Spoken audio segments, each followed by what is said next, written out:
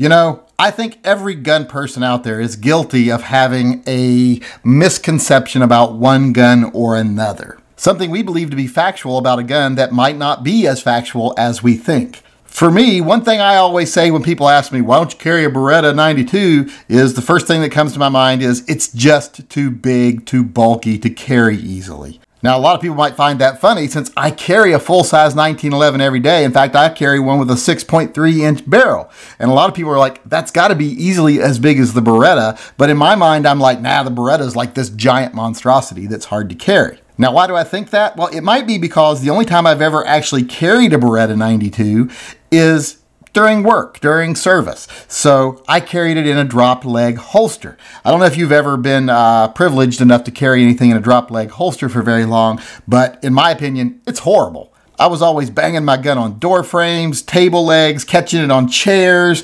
Anything I walked past, I'd snag with my damn gun and holster. By the time I got done for the day, I was lucky to not have a trail of objects and people that got swept up in the mess as I drugged stuff along that was hooked on my holster. And that's kind of stuck with me and made me think, ah, Beretta 92s are just a little bit too big to carry, and that's why I carry the much slimmer and smaller 1911 platform. I think most people that are watching this video would agree that 1911s are very easy to carry simply because they do have such a slim profile, especially when compared to something like the Beretta. So I thought today I'd make a little video where I actually compare them side by side in a factual, uh, consistent way and see, is the Beretta 92 actually that much bigger?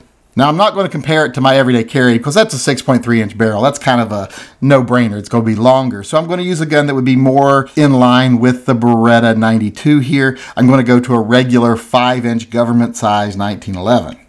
In this case, one of my Nighthawk 5 inch 1911s. So let's go ahead and get these measured and see how big a difference there actually is. First, let's look at the grip length. We all know that grip length is the hard part of a gun to conceal. The longer the grip, the harder it is to keep it tight into your body and the more you're going to print. So when it comes to the length of the grip on these two guns, you can see it's pretty much identical. Both of them have a mag guide installed or magwell installed, but as you can see, pretty much exactly the same. From the bottom of the magazine plate up to the top of the sights, these guns are pretty much identical as far as grip length is concerned. Now let's look at the overall length of the two guns. As you can see here, from beaver tail on forward to the end of the barrel, not a whole lot of difference, but I will have to say the 1911 is actually longer. It does have a little bit longer barrel also than the Beretta. So if you want the longer barrel, I think you would excuse that extra length. But if you're just looking at overall length, the actual 1911 is longer than the Beretta. But length isn't that big of an issue when you're carrying, but it still is an issue. So I wanted to show you how they compared lengthwise. Well, now that we see that they're actually very similar in height and length, and if you went to a commander size 1911, they'd be even more similar. Uh, the only real other difference could be thickness and weight. So let's check the thickness of both guns and the weight. I'm going to have to do this the manual way because I broke my little measuring thing here. So I'm going to have to measure it and then actually read it. Thickness on the 1911 at the end of the barrel is about 0.95 inches. So 0.95 inches for the 1911.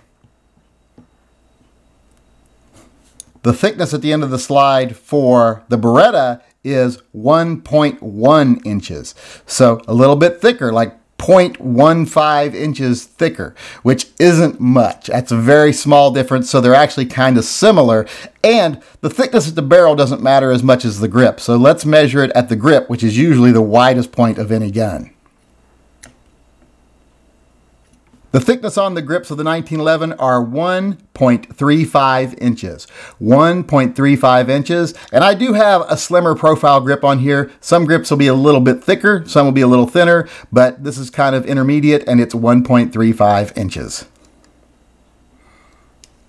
For the Beretta, it's 1.4 inches thickness at the grip, which is about 0.05 inches bigger than the 1911. But the grips I have on this gun are actually a little thicker than the stock grips. So as far as thickness of the grip goes, I'm going to say it's a wash. I'm going to say they're pretty much exactly the same.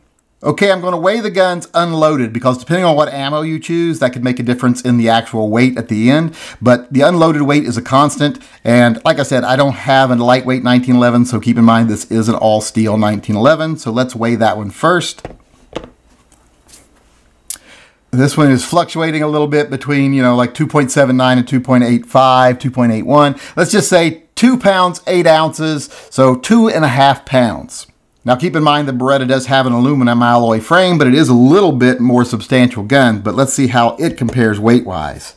It's two pounds, two ounces. So just a little over two pounds. So a little bit lighter actually than the 1911, but like I say, it does have an aluminum frame. So this doesn't mean as much. If you were to get an aluminum frame 1911, they'd probably be pretty much the same weight. So in the end, having looked at all those measurements and comparisons, am I right to say the Beretta 92 is just too big to carry? I'm going to have to say I'm not. I'm not right. I don't think it is. Uh, I think that's just a preconception that I had from a bad experience I had in the past based on the way I had to carry the gun at the time. In reality, I don't see why I don't carry one of these other than the fact that it's 9 millimeter and I actually like 10 millimeter better. But if I were to carry 9 millimeter, this right here, this has a potential to have 18 plus 1 rounds, 19 rounds. Whereas that 10 millimeter 1911 can only hold 9 plus 1, which is 10 rounds. So that would be a real big plus for this gun. It might have a little bit less power as far as each round is concerned, but you get almost twice as many of them. But the real concern to me has always been the size. But like I said, looking here now, was I right about it being too big to carry? I don't think I was. I think this would make a great carry gun.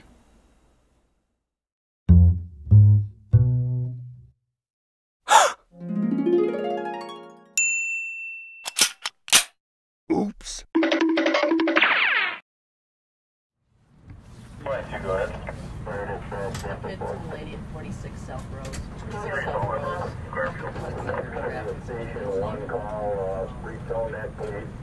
It's a lady at 46 South Road. 46 South Road. Station one call, retone that please. Ten four. Captain four to go to that location